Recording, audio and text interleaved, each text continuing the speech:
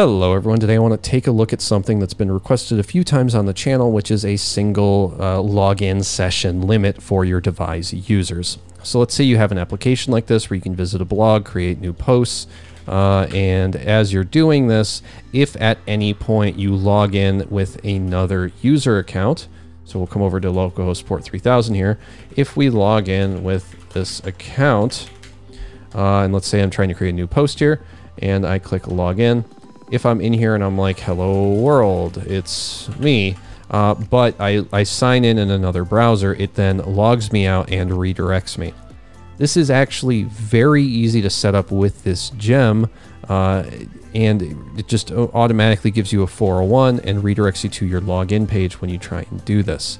All we really need are two gems. One's going to be Devise, of course, and the other one's going to be this Devise security gem here.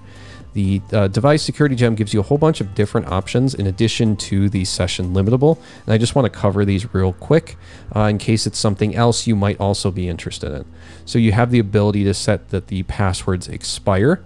If you've used, uh, there's a couple different like pieces of software that companies use where it's like your employee billing portal or for like your taxes or anything like that.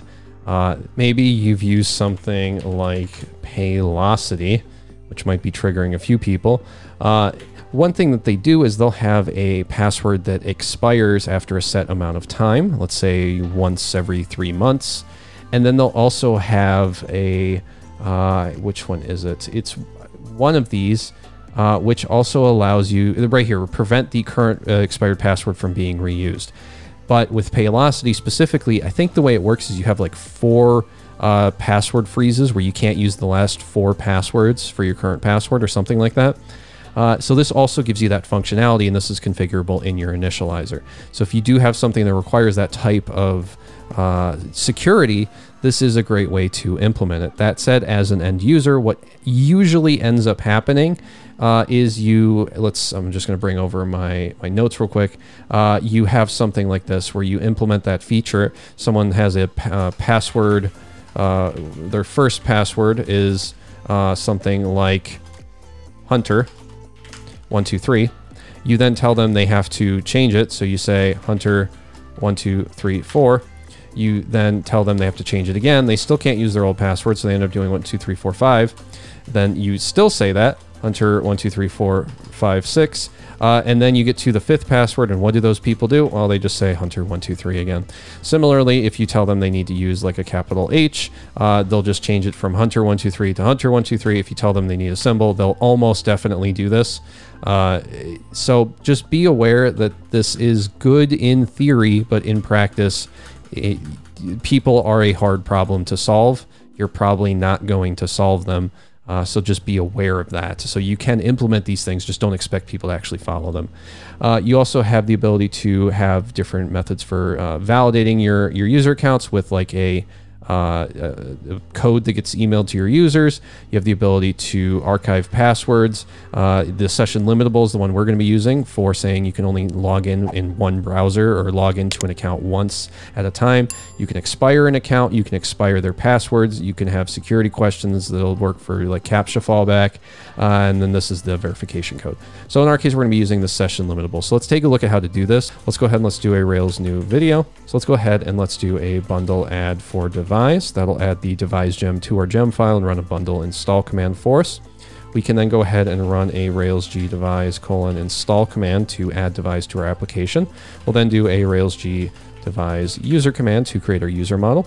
Next, let's do a Rails G controller pages home create, a, create ourselves a home page. And then let's do a Rails G scaffold post with a title and a body of type text, just so we have something to test with.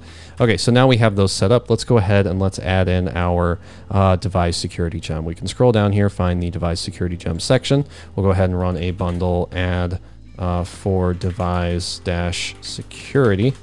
Go ahead and run that. Next, we can grab this Rails G Devise underscore security colon install command go ahead and run that in our terminal.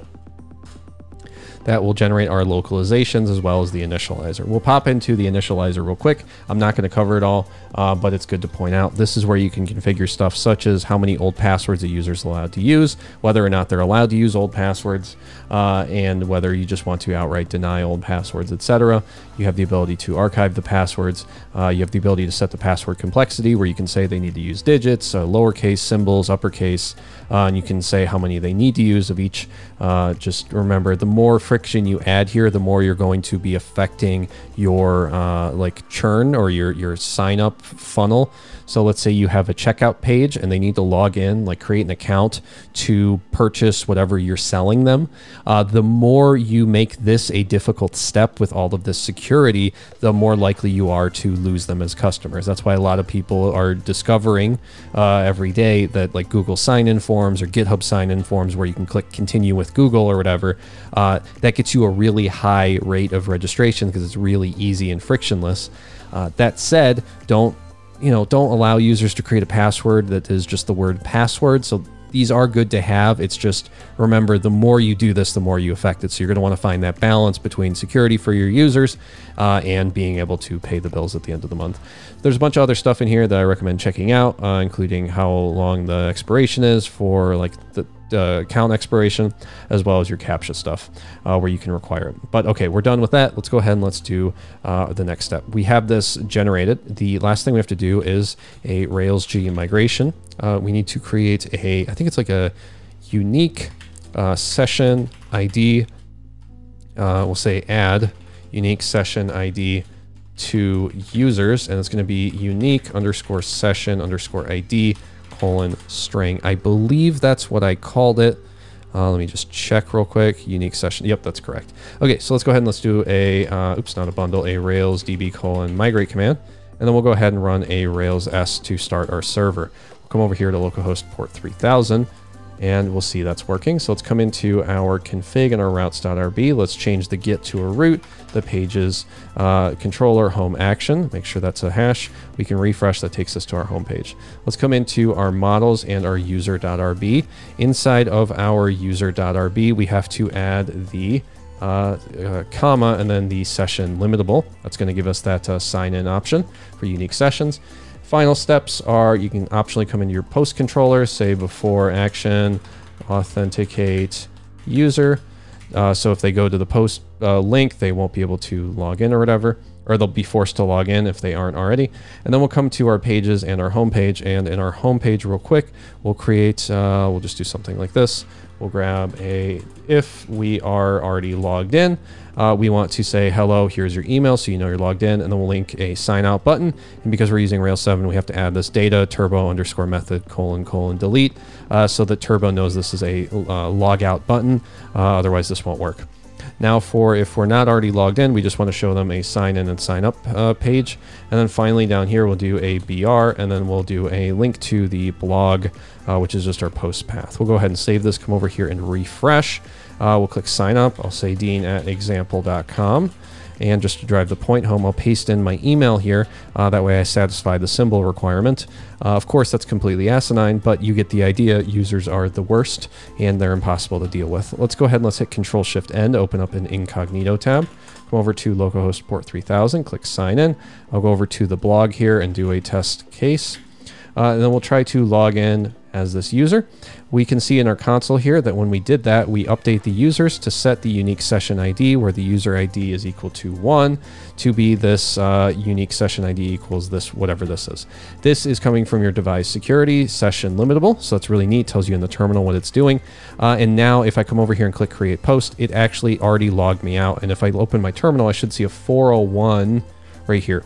401 uh, unauthorized uh, because the session ID was a mismatch. Again, tells you exactly what, what caused it, and it says your session ID was a mismatch. We expected this unique session ID, but we got this one because the session ID is the old one. This is the expected one, which is the current one that we just put into our database.